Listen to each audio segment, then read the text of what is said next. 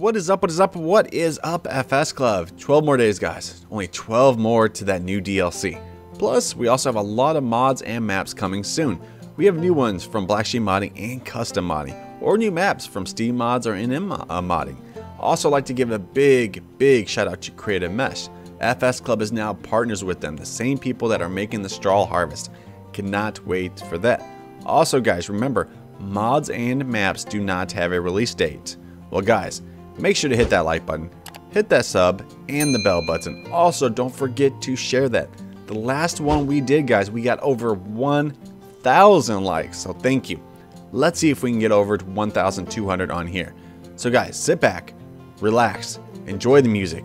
Here are mods and maps coming to all platforms this spring.